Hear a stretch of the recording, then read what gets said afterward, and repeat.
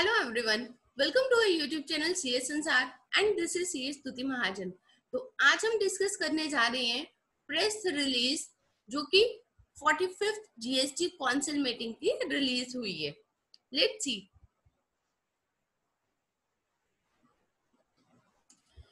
forty fifth meeting of the GST council Lucknow dated 17 September 2021 तो ये हमारी GST council की जो फोर्टी फिफ्थ मीट हुई है आफ्टर कोविड फ़र्स्ट मीट हुई है, जो कि फेस टू फेस हुई है इन लखनऊ के अंदर and under the chairmanship of Mrs Nirmala Sitharaman ji तो इस प्रेस रिलीज़ के अंदर आप देखोगे, काफ़ी लेंथी प्रेस रिलीज़ ये वाली आई है। तो इसके अंदर सबसे पहले उन्होंने क्या दिया है कुछ कुछ आइटम्स की उन्होंने क्या किया? रेट्स जो है वो चेंज किए कुछ के रेट्स जो है वो कम किए कुछ के रेट्स इसके अंदर बढ़ाए गए हैं। तो ये जो भी है रेट्स के लिए सेल्फ एक्सप्लेनेटरी है, वो आप खुद ही इसको चेक कर सकते हो। जिसके ऊपर जिसका जो भी तरह का क्लाइंट है या उनका खुद का बिज़नेस है तो उसको देख के आप इसमें चेक कर सकते हैं। हम इसमें डिस्कस करेंगे जो इम्पोर्टेंट पॉइंट्स इस प्रेस रिलीज़ के अंदर डिस्कस हुए हैं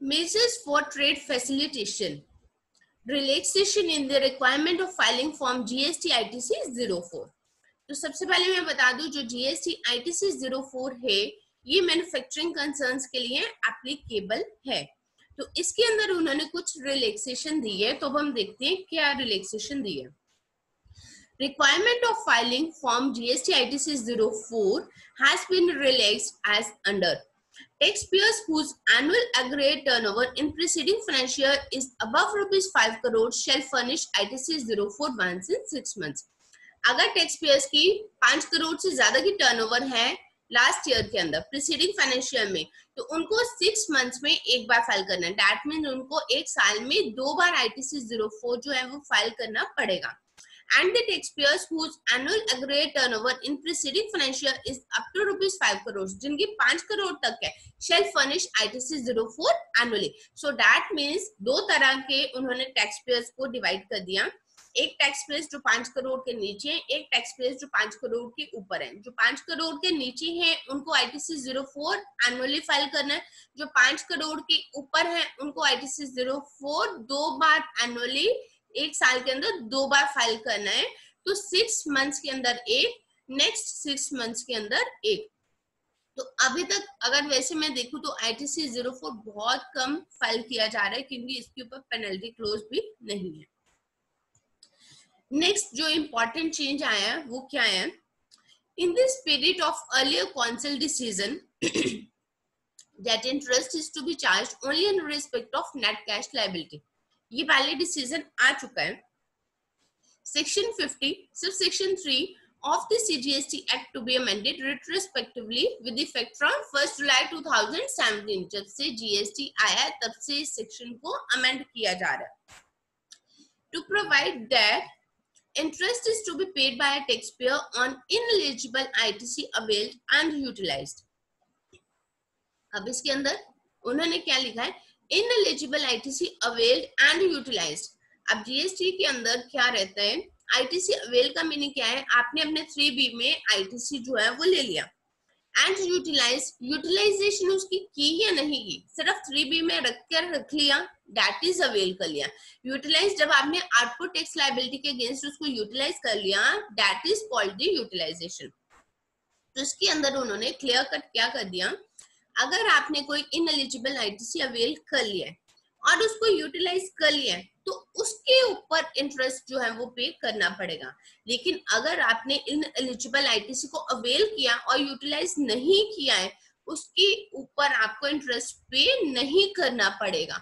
और इंटरेस्ट का जो रेट है that is also defined in the press release that is at the rate of 18 percent per annum कुछ जीएसटी नोटिस निकले हैं, या डिपार्टमेंट से जो नोटिस निकल रहे हैं, उसके ऊपर जो इंटरेस्ट चार्ज किया जा रहा है दैट इज़ 24 परसेंट तो अब प्रेस रिलीज़ ने क्लियर कर दिया है कि उसके ऊपर जो इंटरेस्ट चार्ज किया जाएगा that will be 18 percent per annum और वो भी उसके ऊपर जो इन एलिजिबल आईटीसी अवेल करके यूटिलाइज कर लिया। अगर यूटिलाइज नहीं किया, सिर्फ़ अवेल करके रख लिया तो उसके ऊपर कोई इंटरेस्ट नहीं लगेगा। सो so, तो ये बेनिफिशियल पॉइंट है जिसका कि टैक्स पेयर्स जो है वो बेनिफिट उठा सकते हैं। नेक्स्ट एक इंपॉर्टेंट चेंज क्या है लेट अस सपोज़ एक पैन नंबर है ठीक है? एक पैन के अंदर हमने दो जीएसटी नंबर लिए हुए हैं डिफरेंट स्टेट्स के अंदर। तो पहले हम एक स्टेट के अंदर जो जीएसटी पे कर रही है और दूसरे स्टेट के अंदर उसको ट्रांसफ़र नहीं कर सकते थे। अब क्या उन्होंने किया?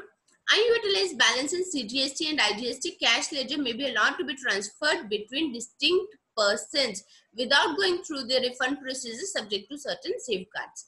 अब क्या इन्होंने इस प्रेस रिलीज़ के थ्रू क्या क्लियर किया है अगर एक एंटिटी है उसका एक पैन है लेकिन उसके रजिस्ट्रेशन जीएसटी रजिस्ट्रेशन जो है वो डिफरेंट स्टेट्स में है तो अगर उसने बाय मिस्टेक या कहीं पर एक में उसके कैश लेजर में एक्सेस अमाउंट पड़ा हुआ है, और दूसरे स्टेट में उसको पे करना है तो वो ट्रांसफ़र कर सकते हैं without going through the refund procedure. तो उनको रिफंड लेने की नीड नहीं है, वो वहीं से इंटर ट्रांसफ़र उसको कर सकते हैं स्टेट्स में। लेकिन इसके अंदर क्या है, सिर्फ़ कैश लेजर को इंटर ट्रांसफ़र कर सकते हो आप, जो आईटीसी लेजर को वहाँ पर नहीं कर सकते हो आप। Next issuance of the following circulars in order to remove ambiguity and legal disputes on various issues thus benefiting taxpayers at large तो क्या नॉलेज में क्या आया कई सारी ऐसी टर्म्स हैं जिसके ऊपर अभी कंफ्यूजन चल रही है तो उसके लिए उन्होंने बोला है कि इनकी क्लैरिफिकेशन के लिए सर्कुलर्स जो है वो इशू किए जाएँगे जैसे कि इंटरमीडियरी सर्विसेज़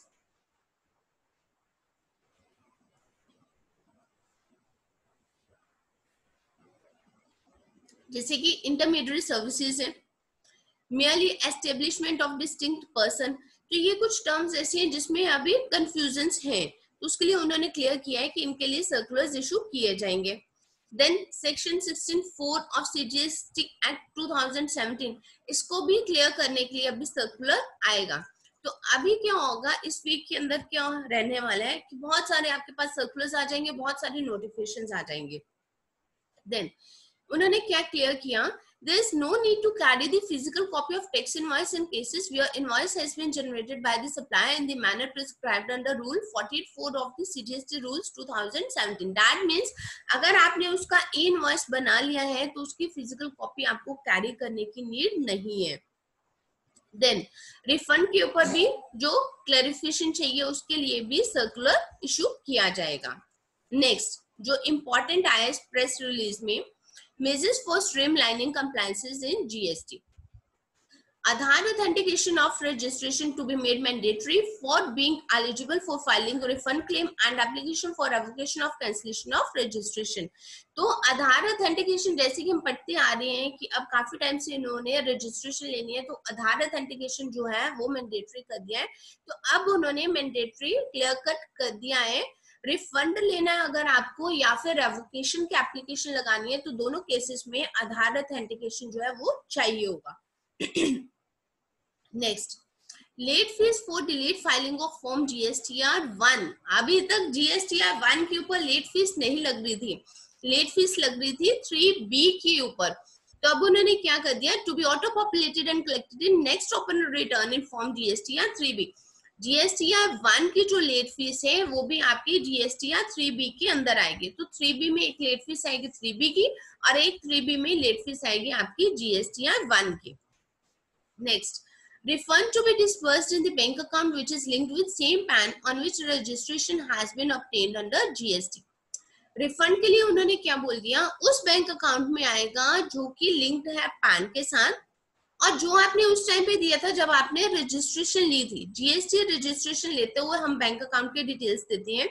जिस बैंक अकाउंट की डिटेल हमने वहाँ पर दी है, उसी बैंक अकाउंट के अंदर हमारा रिफंड जो है वो प्रोसेस होगा।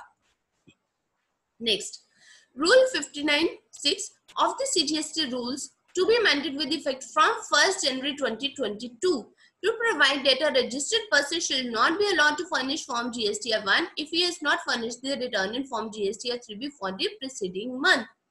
तो पहले क्या आया था पहले था कि दो आप फ़ाइल कर सकते हो वन और अगर आपने थ्री बी नहीं दी अब उन्होंने फ़र्स्ट जनवरी 2022 दैट मीन्स तीन महीने के अंदर वो क्या चेंज करने जा रहे हैं कि जीएसटी वन दी है, उसके बाद आपको जीएसटी थ्री भी फ़ाइल करनी है, तभी आप नेक्स्ट जीएसटी वन फ़ाइल कर पाओगे, नहीं तो अदरवाइज़ आप जीएसटी वन भी नहीं कर पाओगे। क्योंकि टैक्स पेयर्स क्या कहते हैं वन फ़ाइल कर दो वन में कोई टैक्स लाइबिलिटी पे नहीं करना थ्री बी रोक लो थ्री बी के अंदर टैक्स लाइबिलिटी पे करना।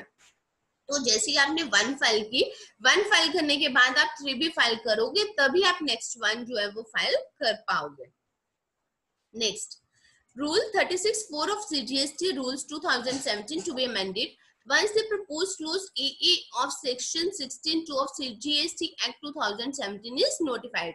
तो इसका 16.2 AA clause उसका notify होने जा रहा है to restrict availment of ITC in respect of invoices or debit notes to the extent the details of such invoices or debit notes are furnished by the supplier in form GSTR 1 and are communicated to the registered person in form GSTR 2B. So that means in simple term क्या कहना चाह रहे हैं?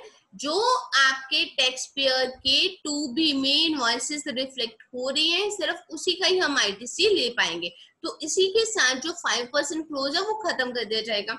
अगर आपको ध्यान हो, पहले क्लोज था ट्वेंटी परसेंट तक ले सकते थे। फिर आया टेन परसेंट उसको रिड्यूस कर दिया। देन आया फाइव परसेंट तो अभी क्या है, जो आईटीसी आपके टू बी में रिफ्लेक्ट हो रहे हैं, उसका हम फाइव परसेंट तक कर सकते हैं। तो अब वो रूल फाइव परसेंट भी खत्म हो जाएगा इसी के साथ जैसे ही क्लोज ए ए नोटिफाई हो जाएगा तो फाइव परसेंट रूल खत्म कर दिया जाएगा। तो जो हमारे टू बी के अंदर फिगर आ रही है, वही हमें आईटीसी में हम वही फिगर क्लेम कर पाएँगे। तो इसके लिए क्या है कि जो सप्लायर्स हैं हमारे, वो भी अपनी जीएसटी एफ़ वन को टाइमली फ़ाइल करें ताकि अगर वो टाइमली फ़ाइल करेंगे, तभी हमारे टू बी में वो रिफ्लेक्ट होगा आईटीसी आईटीसी टू बी में रिफ्लेक्ट होगा, तभी हम उस आईटीसी को क्लेम कर पाएँगे and next GST Council has also recommended amendments in certain provisions of the Act and rules. तो उन्होंने GST Council ने कई सारे amendments जो हैं वो recommend किए हैं, practical difficulties को देखते हुए. So hope for the best ये सारी तो उन्होंने प्रेस रिलीज़ के अंदर चेंजेस किए जो किए वो उन्होंने डिस्कस किए प्रेस रिलीज़ इसकी निकाली है। और आपको अभी within a day or two और इसी वीक के अंदर बहुत सारे सर्कुलर्स और नोटिफिकेशन जो है वो आने वाले हैं। Hope for the best thank you